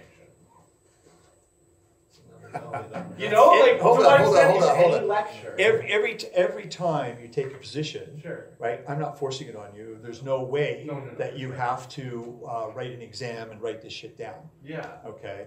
However, I would like you to think on it. no, absolutely. Right? And we've got a couple of different points here Yeah. that I perhaps will try to, and one of the purposes of doing this is to have this kind of interaction and debate so that we can examine those principles. Absolutely. And I think the biggest difference is consequences. There is no consequences of you telling Wayne that you don't agree with that. But there is. I've never gotten consequences. consequences for telling professors that. Lucky I- you. Yeah, I know, and it is lucky. Yeah, so it's- I Um, think that is the difference. I think the I think there's some other glaring problems, so I'll get back to those later. Sure. Number eight. Number eight. What's that? There's ten. Sorry, I'm partially deaf, so if people say stuff like, and I don't hear, it's like, I will, what? And I, I always assume that any, anybody says anything, that of course it's all about me. Which is why I'll always question. Okay, so, um, it is wrong always everywhere for any academic to punish or condemn or punish a person for holding or speaking an idea uh, the receiving academic believes is wrong or evil. Right? Why? You should engage with them, I think. Did I write that? It is right for an academic to debate and educate. Uh, that I, uh, well, that's another miss thing, okay? Educate that person, uh, sorry, to address that idea, to educate the person uh, concerning, concerning the fact or merit of holding an idea. So I think you should engage, right, but not punish. Right? And so punishment can be anything like being fired or suspended without pay or being pummeled in the streets. Yes? Is ridicule the best way to engage?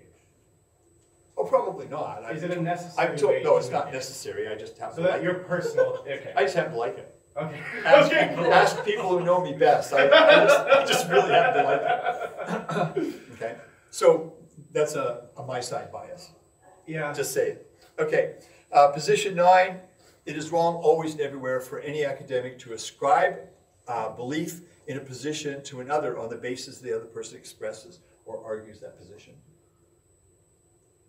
I can argue anything. I can take a devil's advocate position about anything. Doesn't mean I believe it. As a matter of fact, the mark of an educated mind is to be able to hold counterfactual positions, right? Or positions that you don't necessarily agree with, and argue them. And lots of times you might want to do this to find the strengths and weaknesses in others' arguments or to learn as much as you can. So that should never happen, which is why you should never hear anything like, you're racist, sexist, homophobe, dickhead. Okay, just saying. Principle the tenth. It is wrong always everywhere for any academic not to defend the right of any person to make any statement in any venue which the person is stating a position or making an argument. This comes back to exactly what you said about, you know, other faculty members not decrying at Thompson Rivers or wherever it was. Okay? Please. Thank you. Uh, this is, this is the, a question that I had around principle six, let's say. Um, and I thought that, uh, well, no, no, no, no, it, it's more relevant to principle ten. Um, fascism inherently rejects reason.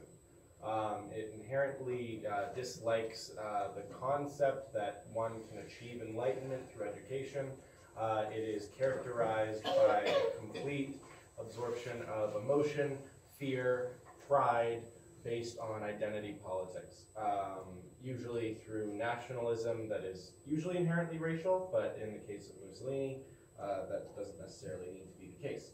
Um, I argue that these principles don't fight fascism as well as we might hope. And in fact, giving people specifically um, fascists, uh, for example, Steve Bannon uh, was recent, well, he's not, he's not a fascist, sorry. Steve Bannon. Steve Bannon So is uh, populist. he, he's, he's a populist who has uh, been the campaign manager for a variety of political campaigns, starting with Trump and then moving Okay, to Poland Bannon. and to Italy. Um, he is responsible, um, or, or many people um, have cited him as being responsible uh, for giving rise to populism, to ultranationalism, um, to a rejection of reason um, in, in this coming, um, Okay. you know, time that we He, live in. he, And he it is- has debates. one though. second, let me finish my thought, if I can.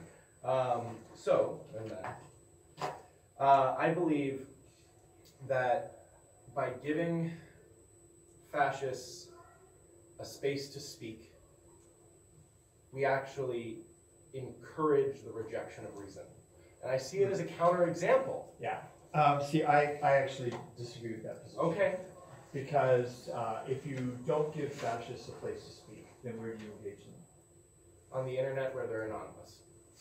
No, no, no, like, re- really, No, that, what that you- is. What you that is want, what you want to do Yeah. then is you want them to de-anonymize themselves. Absolutely, be in I things agree. like this and tie up with them. I agree. Right. But now you see, the, the problem is, you have a very optimistic view whereby Well, wrong I'm not an values. optimist, you can ask. No, no, no, okay, fine, fine, fine. Uh, I'm sorry that I mis, uh, misattributed that to you. Um, I don't identify as an optimist. Okay. let me let me correct myself. Um, so there there was a there was an op-ed done. Um, uh, I forget the article uh, or, or uh, the journal it was placed in, but it was called "I, I debated Steve Bannon and it didn't turn out the way I thought."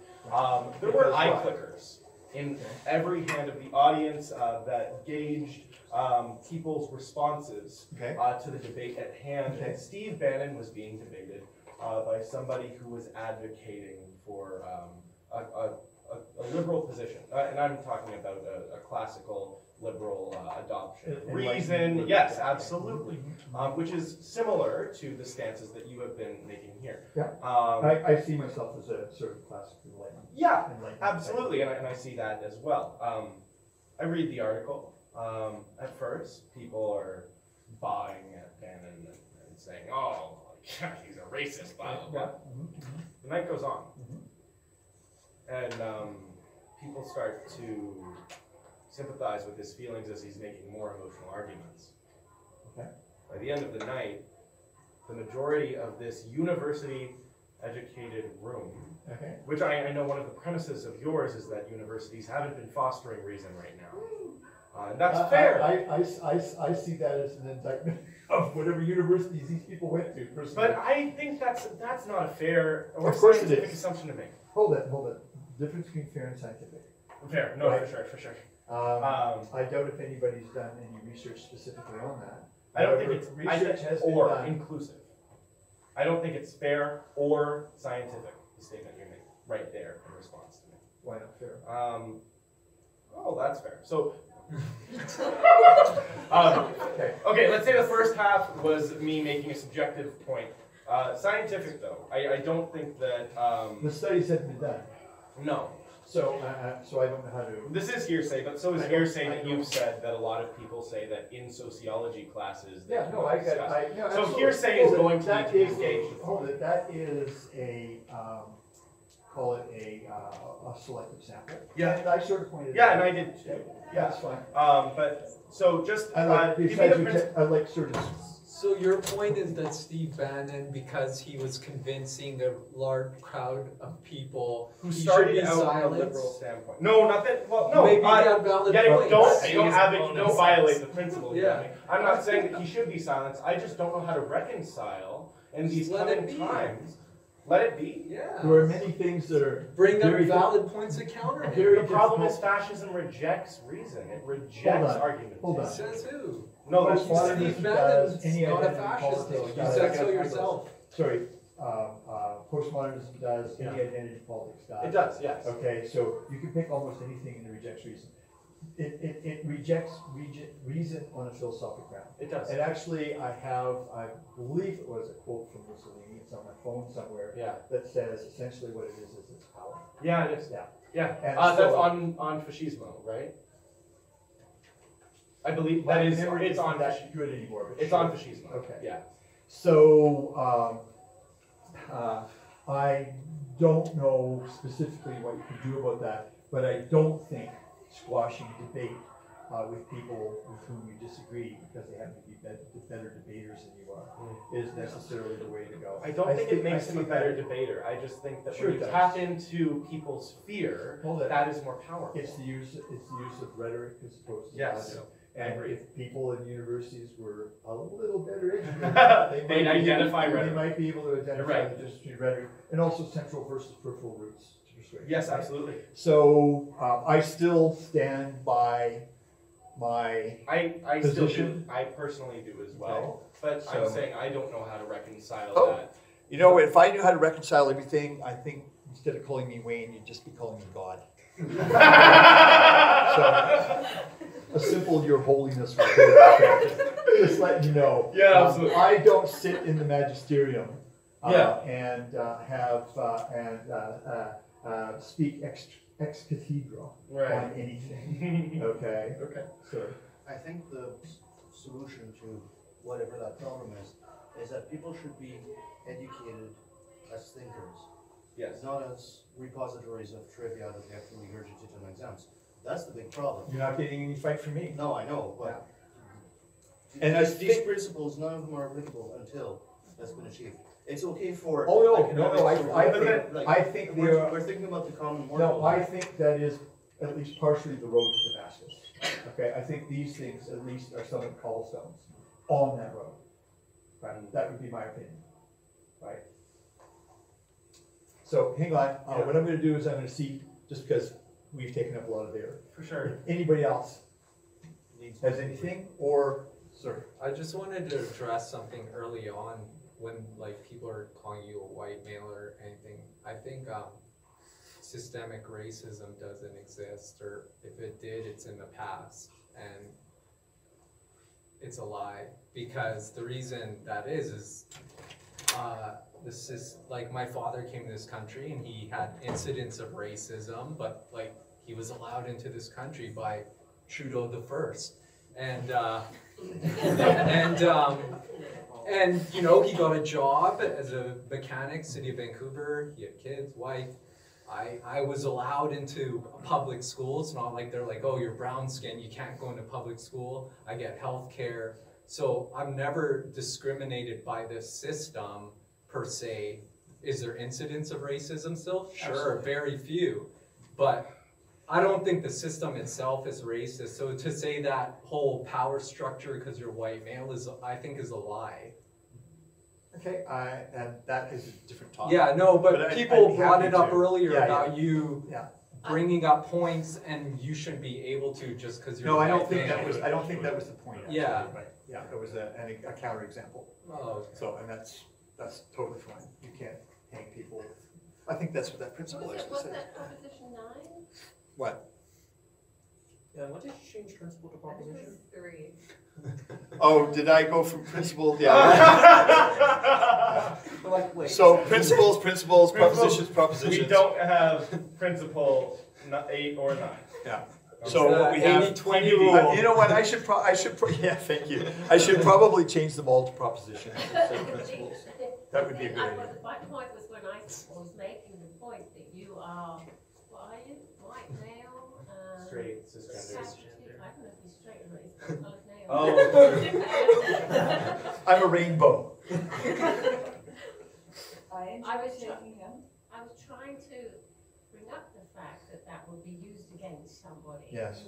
Which was, one of your arguments here is it's important to, to air those things. Yeah. Yeah, absolutely. Well, And I also think that the tide has changed now, because before it was white pitted against minorities, but then when people started to realize, oh, minorities have opinions too, and they, they couldn't they? really lump them together. Hmm. Well, no, they, don't think so. Uh, uh, well, because when, when you have a opinion like what you said earlier, then, then you have internalized uh, racism, because you don't recognize there's systematic racism. So now, now that minorities are actually speaking up, like, no, actually, no, don't speak for me. You have no idea what, how I feel. Yeah. So I think with that, it is important that minorities start to speak out and, So- and do those things. So are you, Because when white ki- people do it, are you kind of telling me that I can't actually speak for you? Is that what you're telling me? you can. I'll give you a Okay, white cool. pass. Thank you. So I get a yellow pass, a brown pass, any other passes? But the thing is that, Uh, pass. I would- I would- like to address you, if that is okay. yeah, of course. Um, uh, what's your name first? Sanji. Nice to meet you. Yes. Um, I would like to ask you uh, a question. First of all, I'd like to say respectfully, uh, I don't personally hold your position that there's no such thing as systematic racism. Systemic. Sure, I've heard. There's a difference. There is. Um, I think that there's both, actually, uh, but that was a slip of the tongue. Okay. Um, but one of them is much more pessimistic and not nearly based. Give on- me laws that discriminate. Not laws. Okay. Not necessarily. Well, okay, Okay. I, I could, but um, Don't do it. statistics. No, no, oh, statistics, Not in you can't use statistics. Not in Canada. Oh, well, uh, okay. I just said in Canada. I, I, I lived in Florida for two years. In Nigeria. No, but let's not go. I, I live in Canada. Okay. I live Okay. in Canada. I'm talking about the system I'm in. No, no, no, for sure. But I'm, I'm, I'm concerned about Western culture and Western society in general. I know, but So, so me, I, I don't think. I don't the live in that it's Florida. Not, no, you don't. But Yeah. you know what? Like political movements spread across borders. Yeah. You see that in any of the major world wars. These ideas. Um, of- Address the systemic Okay, ho- racism. ho- Hold on, please. what I'm gonna do That's is what you sort of said you'd do. play, playing moderator here a little bit. Um, What I'm gonna do is, because we are way away from this stuff. we can. This how do stuff, we finish this? this stuff was meant to. I just want to hear systemic racism in Canada right now. Yeah, but we- no, in a moment, Example. when, when, when, when this is done in a couple of seconds, Okay, okay? sure. Then you guys can like We tie can go up. to a pub And, after I- this and whole I'll, session. I'll, I'll be happy to play. Okay, hang on, guys, hush, hush, please, I yes. smoke weed, Um, not I drink. was just, um, I was just thinking about, um, I, I think the racism still exists in Canada. I'm not sure about what's systematic or systemic or whatever it is. Yeah, I But know. like as a, like as a Chinese, I, I used to put like, I know, I can speak Chinese in my resume. And I was told that that might imply I'm Chinese, so uh, my English is my, is not my first language. So it makes me less likely to be hired. Okay, there are two, there are two questions there, and again, it doesn't speak to this at all. Okay. But there are two questions here. Number one is if uh, a level of English proficiency that you don't have is one of the criteria for being hired, then I don't see that as being a big issue because that's criteria for being hired. If it's because you're Chinese, then I see that as a problem. Okay, and when that happens, I personally think that it, should be brought up. Right, and uh, to quote somebody who some of you probably know, I will be happy to stand shoulder to shoulder with you and fight it anytime, anywhere. Be- Okay. Because I don't say my English proficiency is not good, but that implies I'm a second language, English is my second language, and that implies, like, so. It may or it may not, I mean, it all depends on the system. If you, I bet you, if you tried to get a, sorry, I'll be with you in a second. If you um, were to apply uh, to certain shops, for example, in Richmond, you might find it an advantage. Yeah, just saying. Right, whereas if I say, "But I'm pretty Anglo, And then that might stand against me if he hired no shots. But I'm not sure I call that racism. I'm not gonna say. That's incident too, that's not, that's one employer Yeah. discriminating, Yeah. so that's not a law against So hang on a second, this hiring. person, then you, okay? Do my Okay, best, Queen so- Country. You said that, uh, how do I find out that I've actually been rejected from a job or whatever it is on a racial basis? That's very difficult for an individual. It really is very difficult for an individual. Often, I think. Yeah, you I think that, they that use- is. They the use basis. statistics. However, statistics are really a double-edged sword. Well, You that's- gotta be really careful about that. So, an example, back in the nineteen seventies, uh, with the rise of the feminist movement, uh, it was noted that about sixty percent of, uh, uh, university students were male and forty percent were female. This was seen as de facto evidence of sexism. Today, look around your classes. Sixty to seventy percent are female, right, and the rest are male. And so it's switched. Is that, is that evidence of uh, systemic sexism against males? That's the question you have to ask. Because if the statistics are the same for both, right, the logic should be identical. Yeah, That's a faulty argument, because you're no. assuming that I ag- identified with the original logic. No, You're no, I'm assuming not that I- talking to him, I'm not talking to Okay, you. but what I'm saying is your stance in general, your argument has the whole of assuming that he agrees with premise one. And you haven't verified Which that is he why. agrees with premise one. That's You why I haven't, one started with second, the one word second, if. one second. Yes, understood. Um, but, uh, if he does not agree, um, that it would have been de facto sexism or evidence of, of sexism. No, it was held as as de facto evidence of sexism. Yeah, okay, so it was back then, and because those people back then believed that, should somebody not believe that it's de facto evidence of sexism now, Yeah, that's the then question. they're So logical? if the, if the, if the evidence is identical, it's just that, uh, it's the philosophical principle. Yes, If no. person P in situation X, Yes, yeah, a- a- and uh, C is the conclusion. yes, Person P two in situation S, C should also be the conclusion. And if Yes. it's not the conclusion, you have to, s- you have to, uh, uh, you have to demonstrate yes. that the situation is sufficiently different that you don't have to accept that evidence in the same way. I think the burden of proof should be on you here, What? I don't, I don't. I because you're don't- the one making the argument. No, I don't, I don't need to, uh, make any proof, I'm saying that this was considered, I think the de burden, facto, hold on, this was considered Mhm. de facto evidence of sexism. yes, I agree. with Exactly the same thing as backwards, Mhm. should it still be considered de Yes. facto evidence of sexism? That's all I'm saying. Sure, I, I haven't made any positive say, I'm not saying that it is evidence of sexism. okay, I say, look, if the argument is, if the argument follows in one case, it should also follow in the other. yes, That's all I'm saying, that's yes, all I yes, said. yes, okay. Um, sorry, miss, I got That's okay. totally tied up. Um, what I wanted to say was more to, in response to your question about, um, feeling like you wouldn't get hired because, uh. Um, it's not my feeling, it's when I was, it's actually happening down there in the office, in the office. When I was trying to do my resume, the, the counselor told me, um, I should probably get rid of that sentence. Yeah, and I think that's not fair because if, um, it's a, there's a difference between if you're brought into the interview and they find that, okay, maybe your English proficiency isn't what we need for this job. That's a different story than looking at your resume and saying, she speaks Chinese, therefore she may not be good at English, so we wouldn't consider her. I don't think that's fair. Oh, no, and it certainly wouldn't be fair if it's, if it's done. And things like this have been done, right? Where they've done, uh, male and female, uh, names on resumes. Um, uh, white and black names, whatever black name is. Uh, But no, that's what this says in the paper, so, uh, on, on resumes. And they find that there's a statistically uh, significant difference in whether or not they're called for, um, for interviews. And so there is evidence for that kind of thing. I'm not saying there's not, okay? Uh, the question is, if we're talking about systemic racism, then you have to find it from top to bottom, or bottom to top. Okay? Okay. Not just in individual instances. If, if I may get, go off topic for like twenty seconds. It's not like we haven't been. Uh, About the advice you were given, I would say it was bad advice. Me too. Because first, an extra language is never a detriment. And second, what is your name? Um, Kai, Is your name on your CV? Yeah. Then it would be obvious that English Yeah. would probably not be your first language, as much as the fact that you say that you speak Chinese, you know? Yeah. So I think. What's your last give That name? advice was just like, Lin, L-I-N. Yeah, well, there you go. They Two were- they two in a row. Anyway, and, uh, and I was gonna suggest that perhaps the fear counselor, driven. was that? Well, it was, it was, yeah, bad advice, fear driven, and she had no proof Yeah. that she'd get rejected, wasn't tested.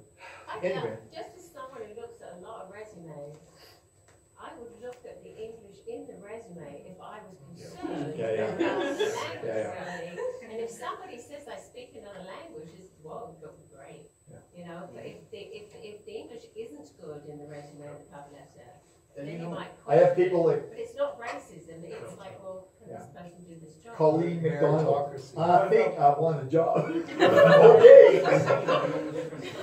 You don't get any further. Oh, yeah, no, no, no. Okay, sorry, hush, hush please, yes, miss. So I have a question about, um, okay, so sometimes when it comes up in classes that, uh, I, I took a criminology class. And then, uh, so there's always different type of, uh, theories. Mhm. And then one always have to be, uh, feminist theories. Mhm. So, the, I mean, it- because it's not a huge portion in the class, but it is in the textbooks and it's treated like a fact. And it, and the, the, uh, the evidence provided is nowhere near the other theories that they provided, but it's treated like it. Mhm. So, but then when I bring up, okay, why, why is this here? This is an opinion piece from Mhm. feminists, Mhm. which is fine, but it shouldn't be treated like the other theories. But then uh, people will say, okay, well, you know, that, that's not really, you know, the, the bulk of what we're talking about, so we're just gonna leave that there. And then also you ta- talked about earlier that, um, people from the, uh, women's study group, don't like to debate either. Yeah, Well, that was my experience in women's studies courses, but that was a long time ago, maybe they've changed. But then they just kind of wiggled in there and stayed there. Yeah. And then every single textbook, it seems to have feminist theory over here. Yeah, and then that's maybe something that uh, when people uh, become big people and are academics in their own right, they might want to take that on directly in the press, right, through the journals, if you can get published. So for those kind of things, even if you express uh, disagreement with it, you can only really change it at, Well, hold it, you've got thirty-five people in your class. Yeah. Right, so you start with the thirty-five, Mhm. right?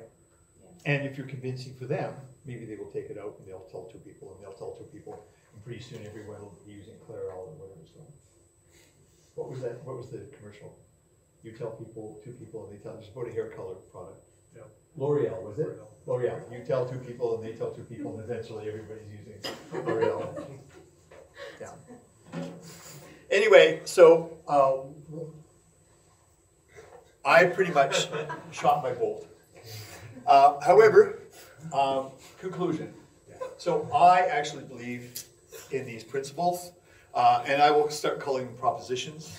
Thank you. Uh, You're, for any academic, there. yeah, for any academic, uh, and I'll, I'll, I'll change the other ones that don't match, just for consistency's sake. Uh, uh, and I think it should actually be everywhere that these principles would apply. Uh, unfortunately, um, it's very difficult to apply them in the broader context unless the education system actually does its job at this end. Uh, Sixty percent apparently of people in British Columbia have undergraduate degrees or better, right?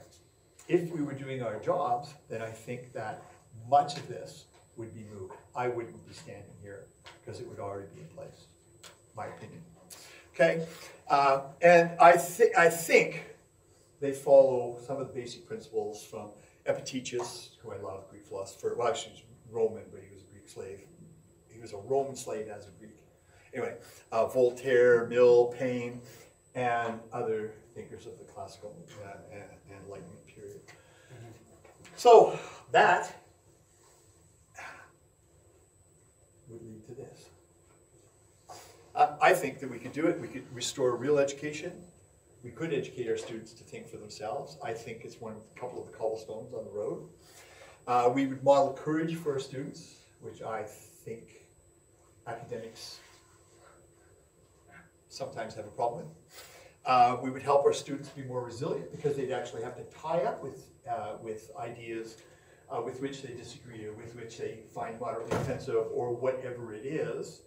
I would certainly get them to think on their feet better than they do now, I think. Uh, no, so you think three times in that one statement. Well, there you go. Okay. Uh, we would uh, model risk taking and dealing with failure. So, for example, anytime you debate someone in public or present anything, you're taking a risk, right? So you can model that. And if everything goes wrong, which it easily could have done, uh, then I could show you how I cry in a corner.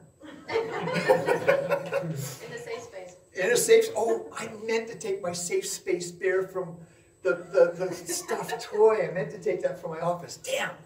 Uh, just in case anybody needed a safe, cuddly thing. Okay. Anyway, um, uh, I think it would reduce the need for government, uh, major information corporations, and our superiors to have to protect us from fake news. And I don't know if anybody's following this, but it looks like governments, uh, Google, um, uh, Facebook, uh, these are going to start screening the information we're getting. And if you don't find that scary, fuck, I don't know what to say. Okay, um, so now we will be getting the truth. Da, da, da. Uh, uh, I also think that it would reduce polarization because we'd be discussing things with each other. It wouldn't be them bad people over there and us good people here and, and uh, the damn lefties and the asshole Nazis on the right. Okay, it wouldn't be there because, you know, when people tie up with each other, right, usually it's the case that everyone has something to say, and usually it's the case you can learn stuff from everybody. Uh, and I know this is kind of a large claim to make, but I think we could actually save democracy. Just saying. Okay. End game.